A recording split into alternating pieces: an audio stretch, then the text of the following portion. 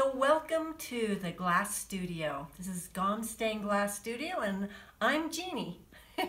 and so I'm just going to tell you a little bit about a project that I'm doing today. And I want to tell you this is how it starts. It all begins with a tiny little sketch. And I, one of my favorite artists is Peter Max. He was popular in the 60s, 70s, I think. And uh, you should look him up because he's amazing, colorful, awesome. He's not a stained glass artist, he is a painter. But I, I get some inspiration from him and then I just make my own uh, designs from that. And uh, this kind of is one of those. So starts with a little sketch. David puts it on the computer for me and uh, I start kind of picking out colors, playing around. Look at this. This is um, rain glass, and since we're doing little umbrellas in the rain, I thought that was just the perfect glass to use. So I've cut out all the pieces. I just wanted the clouds to be just crazy colors. And so that's the window that we're building. So I wanted these little umbrellas. As you can see, there's these little umbrellas down there. And so David has made me um, some paper here. I have put, uh, not carbon paper, contact paper on the glass. And then we're going to glue this on here. And David's going to show us how to do this perfect sandblasting. And that's the idea that I want. I just want to sandblast uh, some umbrellas right here. So that's what we're going to do. Okay, so we've shown how to sandblast and then paint, but this is just sandblast for the technique onto the glass. Yes, and David's going to show us how to do some really fun technique with this. All right, here.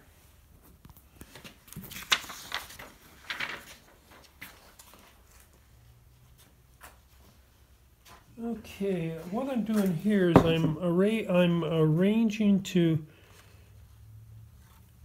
my paper pattern. I want it lined up here.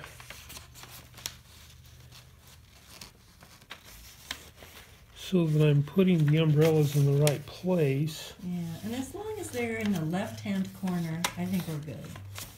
So what I'm doing here is I'm just kind of putting a fold line right here on the pattern so that I have a kind of a, a guide. So smart. So then, then I can come over here and place it right down on the glass. And it'll be in the right place. So let's see if I can give myself a little, oh, look at that, I need to come over that, all right.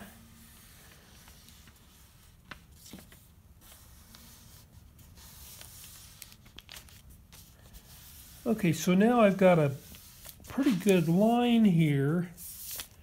So when I come back to put it down, I'll have it. Now, what I need to do is, now this is the resist.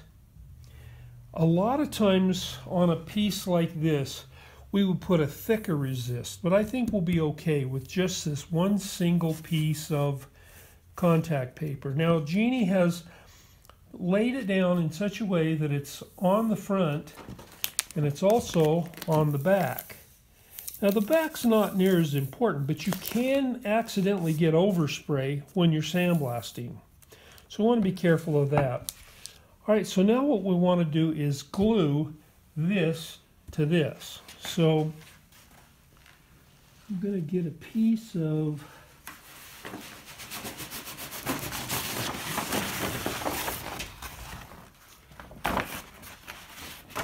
piece of brown paper. This is spray glue. This is a, I think we got this from Walmart.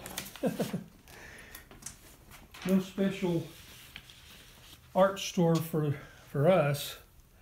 And so now let's see, we're, now this is called Elmer's Craft Bond. That's just so you know what we bought. Sometimes we use uh, a 3M product, so, you know, just whatever. But this would happen to be the better value when we were at the store. So here we go. We're going to spray some glue.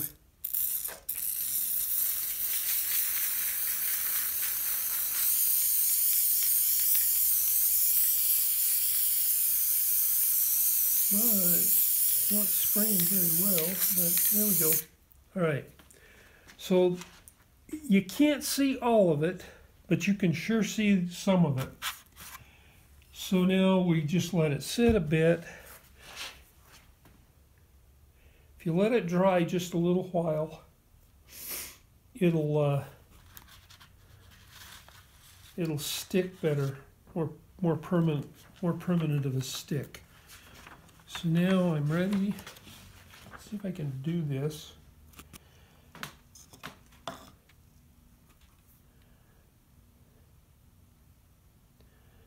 Kind of lining up my folded pieces there.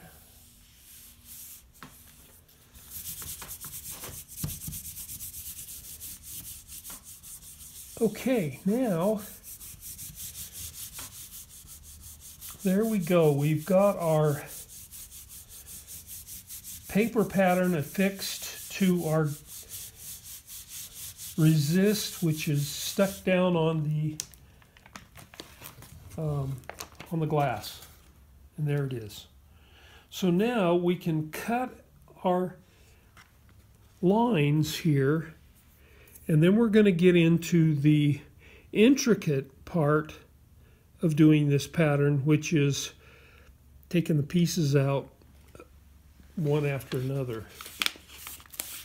So I have a um, an X-Acto knife, and actually this one is pretty sharp. But David tells me that whenever you're starting a new project, it's not a bad idea to start it with a new blade. Well, I noticed that every time you push down with the new blade, you get a little click and the part of the edge goes away. Break the tip. Yep. Okay, so shall I? So what am I cutting out first? This little. Everything.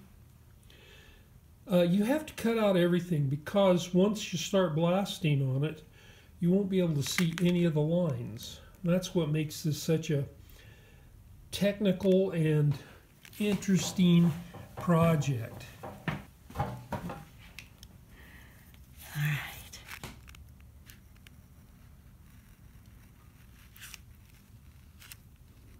So we've talked about it already. What Jeannie's going to do here when she sandblasts is first she's going to sandblast away the handles of the umbrellas. And what she's doing here is she's cutting through the paper pattern and the resist.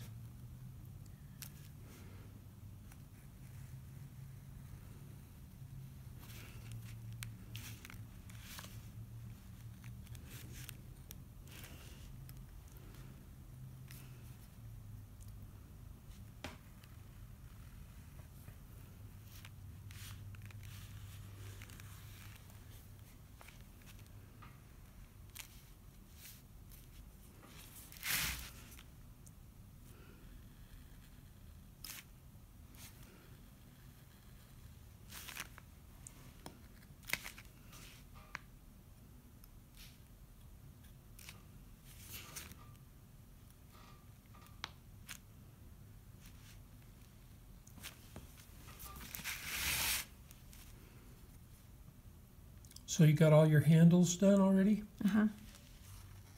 And what I like to do when I'm done is I run my fingers over every line on the pattern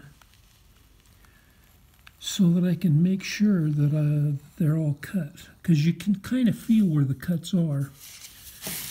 But you do that at the end after it's all done. And did you, but when you felt it, did, did it feel like you were, Yeah, I could tell I didn't do right there.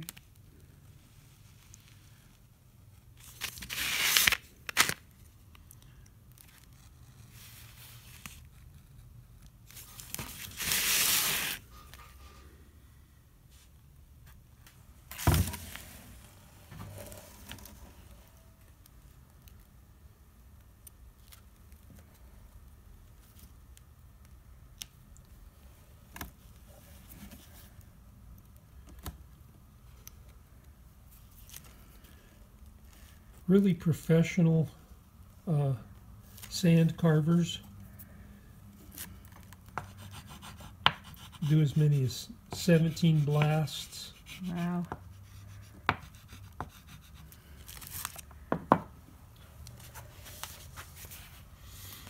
Okay. We've got one light bulb in there, and it's kind of handy because then Jeannie can kind of hold up her glass to see what's going on. You see, she's got a dust mask on to protect herself from dust, even though it's in a sandblast cabinet. Now what?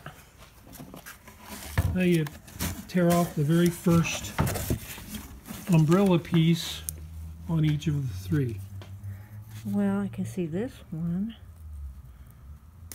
That's why you uh, cut them out before you before you started blasting because you wanted it to be cut. So because even though you can't see the line any longer, you can still find it and cut it out. Found one. Okay, got two more to go. Oh dear. That's why this is the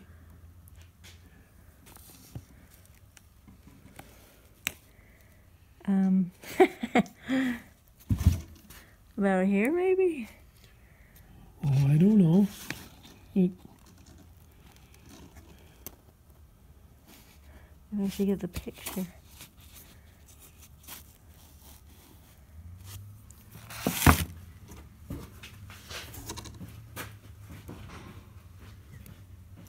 Oh yeah, you can see the line.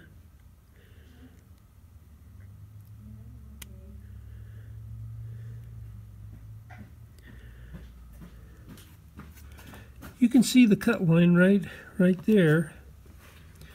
See that cut line? Okay. And you Right wanna about here? No, I think it's above the Here? well, you've got the picture. Yeah, I thought you went to go get the picture. Uh, Okay, looks like you got it. okay. That's scary. Yeah, Scrub it on there. We use that thing and get it. Just pushing it down isn't. There you go. Did you need to do it to the others?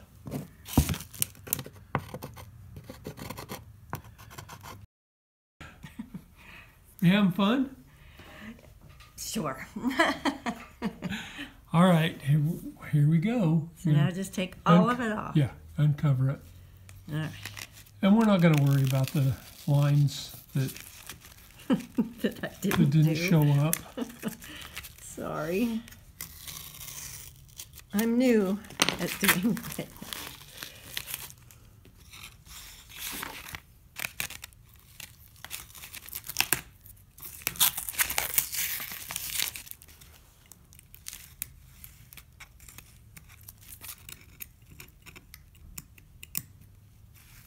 It's still cool.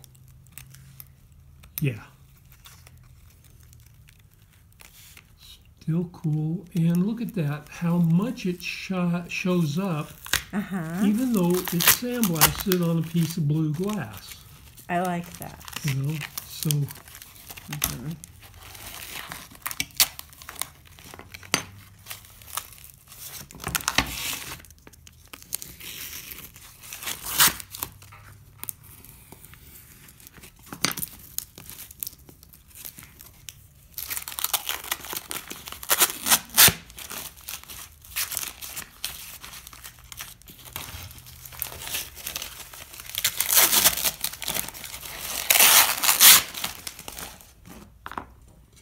Voila! I kind of love it.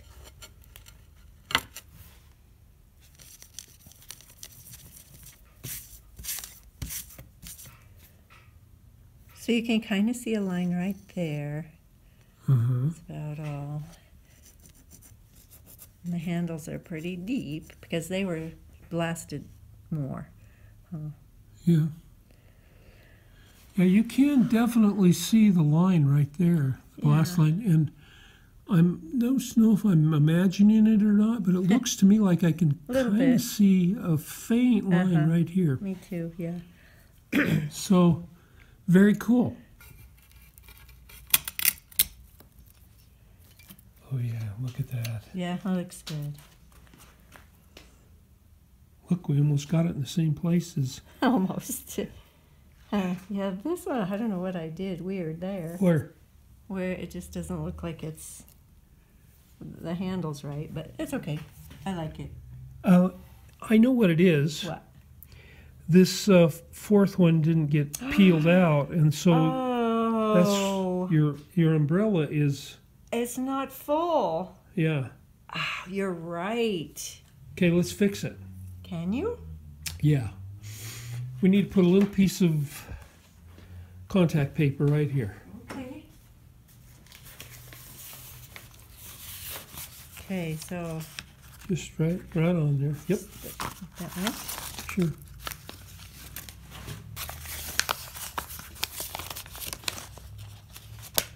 By the way, I've uh, had the same exact problem happen to me once or twice when I was doing a, a sandblasting project. Well, that makes me feel better. That's why I know what to do. So you just put that, plop that down in there.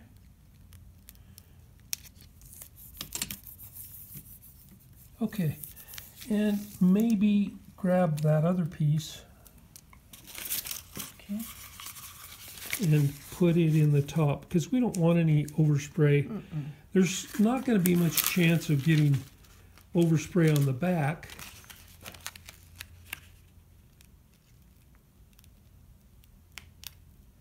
All right. Okay, put it down. All right, let's take it.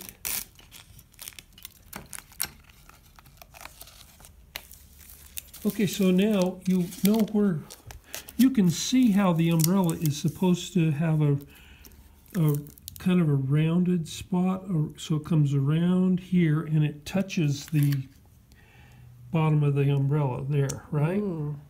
See, so you need to score from here to here, Okay. and then from up here, you're going to do a roundy.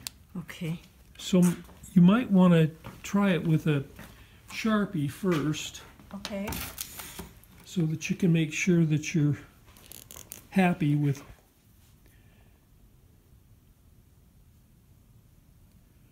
Okay. Great. All right. Now- And now you can cut it out. Okay. Wee Okay.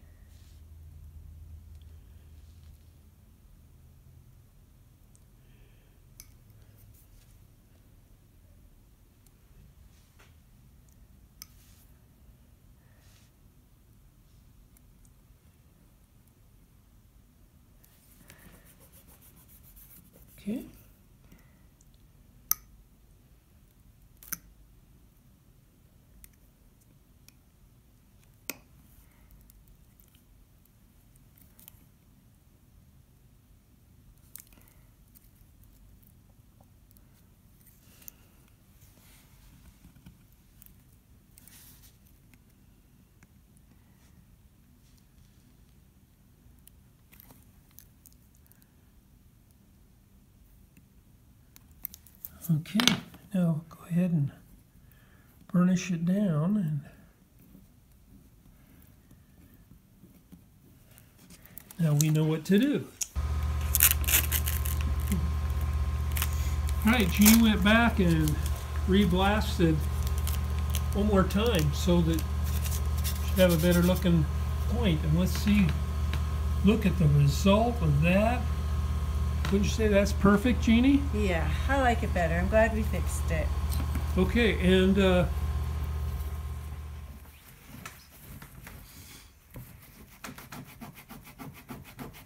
we don't show this step as often as it happens.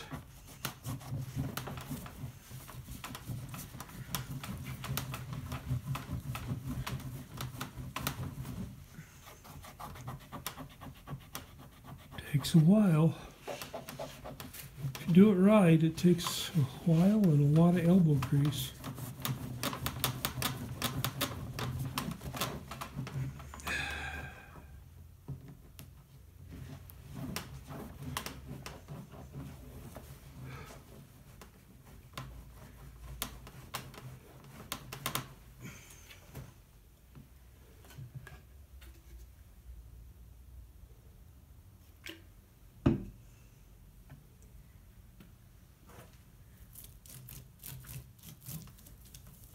So it's cleaned and now it's getting polished.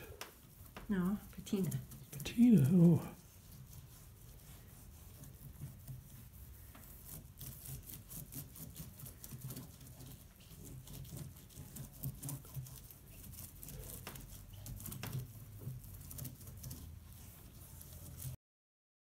Yeah.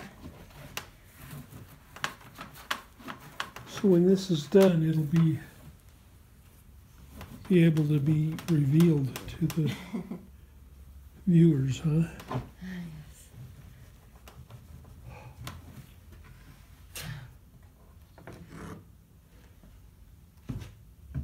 And there it is. Umbrellas in the rain.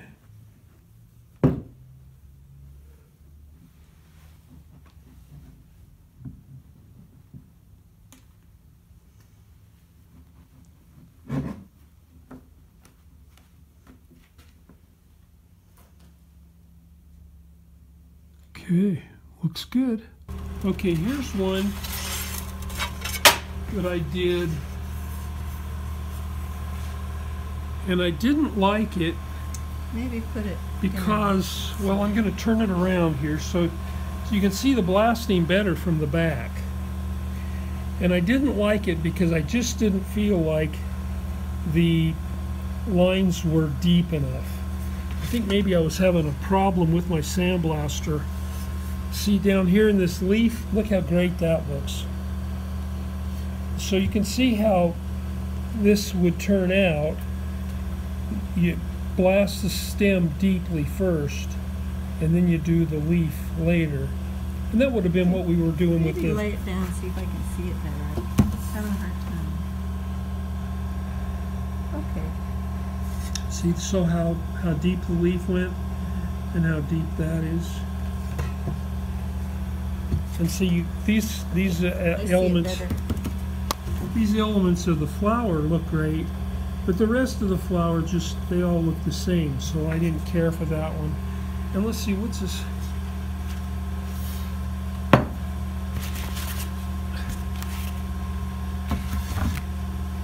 What's this other one we've got here? And what's this right This here? one here came out a little better, but this might have been the same same kind of problem. We're looking at the blasted side, and you can really feel, I mean, feel that right there, Jeannie. Hoo-hoo, it's that's pretty deep. So you can feel it. Now these were many stage blasts. And didn't I have another one over here?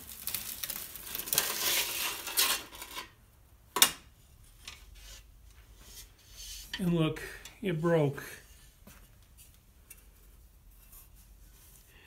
Let's see, we had, this was like a two or three stage blast. You see, we have the leaves, you can see them. We're, we're looking at the, no, I think we're looking, yeah, we're looking at the back of it. And you can see this, this piece of the leaf was blasted out and then this was blasted out later. And so you can still see this, and it's got a really nice ridge in there. And that same thing happened. You see, I blasted this leaf out first, heavily. And then I blasted this side of the leaf out and this side of the leaf out. And those two were like the third blasts, or maybe they were the second blast. And then the whole aspen tree was blasted last, I think. Yeah, that's the third blast. But then when we took it out of the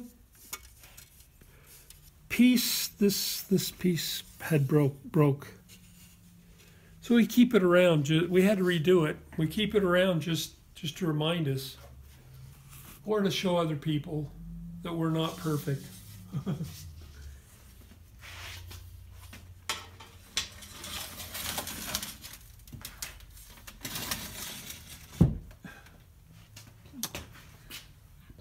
Okay, well, that was fun. We enjoy doing stained glass, and this is part of it. And uh, we have a student right now who wants to do something with stained glass, and he says he. Let's see, what is it? We said he's got. Oh, I know it. It's a uh, Harley Davidson symbol, and we're going to have him come back. He's done with his classes, but we're going to have him come back when he gets the little piece.